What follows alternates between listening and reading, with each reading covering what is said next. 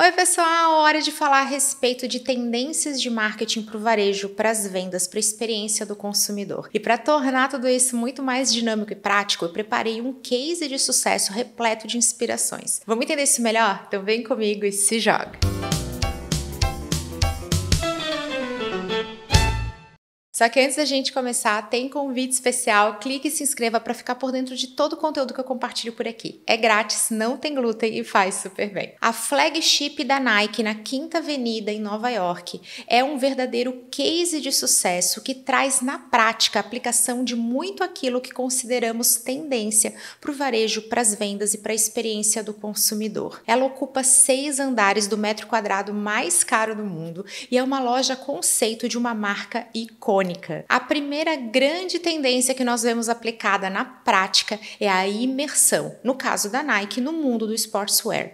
No mundo que caminha para pós-pandemia, pós-distanciamento social e que já está falando a respeito de metaverso, as experiências imersivas são uma forte tendência. É aquela história da gente estar tá ali presente de corpo e alma, sem aquela sensação de estar distraído com o mundo lá fora, com aquilo que está ao nosso redor. A Nike faz isso através de storytelling. É a narrativa narrativa da marca estando presente através de textos, de imagens, de painéis inteligentes, através do uso de salas temáticas que trazem os seus porta-vozes, olha aí outra forte tendência, nesse caso seus garotos propaganda, como LeBron James e Michael Jordan. Toda a narrativa tá ali, tá presente e você tá sendo envolvido através desse storytelling, dessa história que está sendo contada. Isso nada mais é do que conteúdo. Outra tendência que já é realidade, mas que segue forte o seu produto, a sua experiência precisa de conteúdo.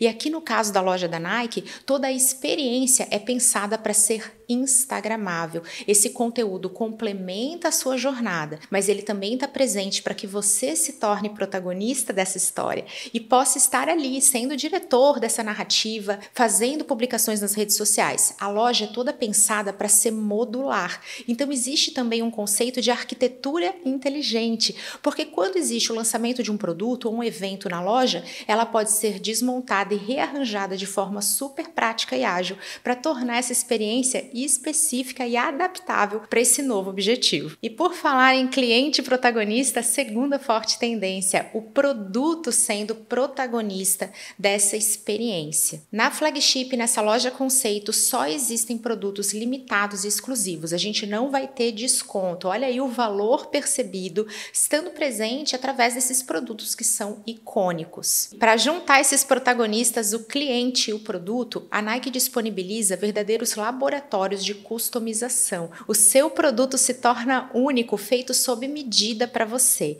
Além desses laboratórios de customização, nós temos também os laboratórios de inovação. Os bastidores do desenvolvimento dos produtos, de toda a tecnologia envolvida, aparecem nesse ambiente. Olha só que fortíssima tendência. A gente fica aí com vergonha de mostrar os bastidores, de falar das nossas matérias-primas, do que está por trás daquilo que a gente entrega. E a Nike está fazendo isso com uma verdadeira visita visita guiada para os seus clientes. Já que o produto é protagonista, a gente tem que ter um cenário de respeito e é assim que a Nike coloca em prática um visual merchandising estratégico pensado nos mínimos detalhes através do uso inteligente de dados. Isso porque a loja tem muita inteligência artificial envolvida para entender o que retém a atenção das pessoas. Todas as vitrines, todos os displays são pensados para que tenha storytelling, para que tenha conteúdo, mas para que retenha a atenção. Olha que forte tendência. E trazer essa percepção de constante novidade é uma maravilhosa estratégia para a gente, além de reter atenção, comunicar valor. Uma super tendência que a gente vê aplicada na prática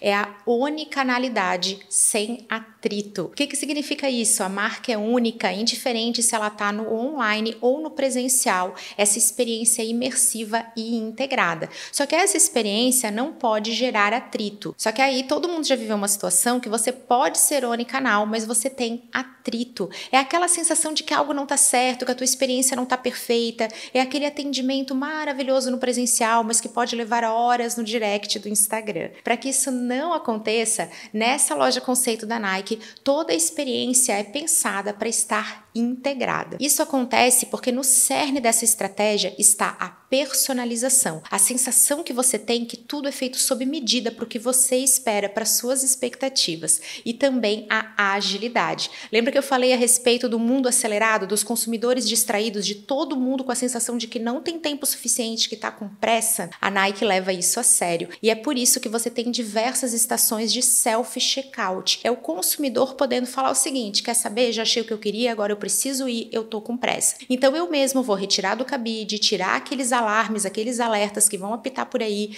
eu vou pagar e eu quero fazer isso em cinco minutos. Essa promessa da super agilidade acontece também para troca. Você troca um produto em apenas cinco minutinhos. Como essa agilidade é tão importante, existem diversos elementos do visual merchandising, são displays com QR codes para que você utilize o aplicativo da marca. Assim você vai poder utilizar o seu celular para escanear esse código e receber exatamente o que você precisa no menor tempo possível. Isso vale também para o uso estratégico do aplicativo da marca. Olha aí que forte tendência. Você está na sua casa, você faz uma reserva de um produto, esse produto fica dentro de um armarinho especial, você vai lá na loja no momento que for mais conveniente para você e aí basta usar novamente o seu celular para que esse código seja reconhecido e esse armário vai ser destrancado para que você possa experimentar o seu produto do seu jeito. Trazendo forte a questão da personalização, você também pode usar o aplicativo e todos os displays da loja para fazer o agendamento de um momento com um consultor especializado para escolher o produto ideal para você. Além da conveniência da praticidade para você receber atendimento personalizado e especializado, você também pode usufruir da conveniência das facilidades logísticas. Isso porque você vai poder comprar em casa e retirar na loja, vai poder fazer a reserva de produtos através do aplicativo e você também pode escolher comprar presencialmente experimentando esse produto e aí sim receber no seu hotel ou no conforto do seu lar. E lembra que eu falei a respeito do conteúdo estar tá presente em toda a narrativa? Isso vai acontecer também com a sua experiência na hora de experimentar. Isso porque todos os produtos têm tags inteligentes que são integradas ao aplicativo da marca. Olha o aplicativo aí novamente centralizando toda essa experiência. Basta que você escaneie esse produto que você vai receber ainda mais conteúdo, ainda mais informação, você vai mais fundo e tudo isso virá argumento de venda, trabalhando de forma imersiva e onicanal. Você tem o um vendedor ali, se você tivesse interesse, claro que tem. Tem consultor? Tem também. Mas e se você quiser se auto-atender? O aplicativo vai cumprir esse papel e trazer argumento de vendas na palma da sua mão. Lembra que eu comentei com vocês a respeito do uso inteligente de dados para tomada ágil de decisões?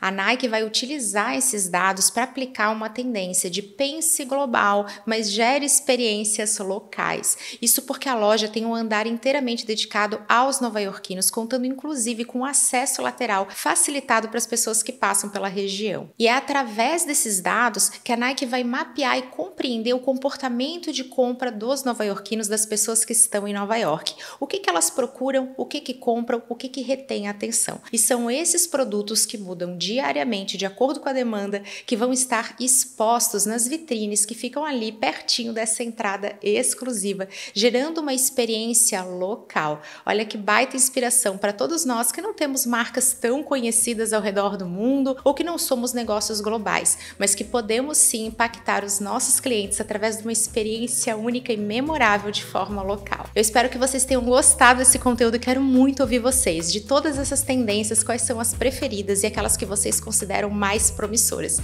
Eu adoro ouvir vocês. Um super beijo, até a próxima!